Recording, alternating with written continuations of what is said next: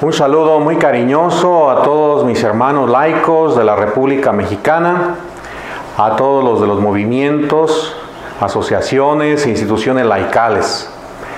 Queridos hermanos, estamos viviendo tiempos muy difíciles en nuestra patria. Aunado al problema de la pandemia, tenemos, como ustedes ya lo saben, una serie de propuestas legislativas que van en contra de la vida, del matrimonio, de la familia y de las libertades fundamentales, libertad de creencia, libertad religiosa. Y es importante que nosotros como laicos despertemos y nos activemos.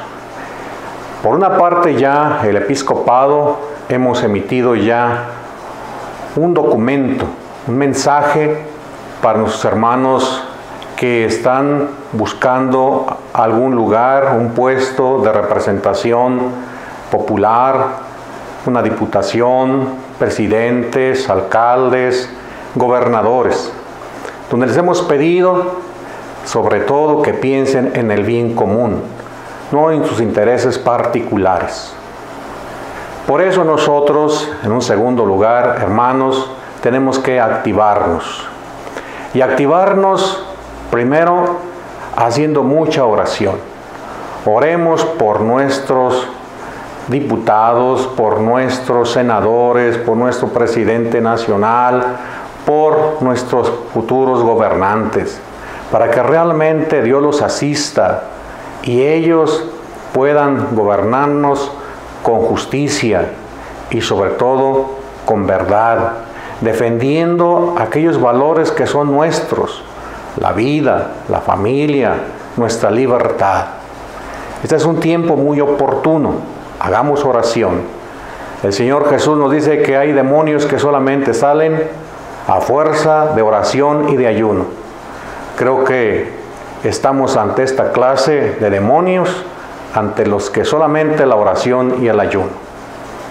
Por otra parte, también necesitamos que todos nosotros nos demos cuenta de la necesidad de participar en estas próximas elecciones. Participar con libertad, con conciencia, sabiendo elegir aquellos candidatos que estén a favor de nuestros valores, de nuestra cultura, de nuestra patria.